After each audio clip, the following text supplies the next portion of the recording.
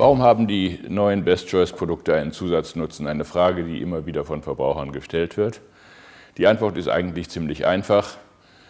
Futter ist nicht nur da, um die Tiere satt zu machen, sondern um sie optimal zu ernähren. Das heißt, wir brauchen bestimmte Nährstoffkombinationen, um das Tier in seinem Bedarf zu befriedigen. Und um das optimal zu machen, ist es sinnvoll, dass wir die Verdauung unterstützen, dass wir den gesamten Nährstoffapparat, der dem Tier zur Verfügung gestellt wird, so aufbereiten, dass der Organismus ihn gut verarbeiten kann.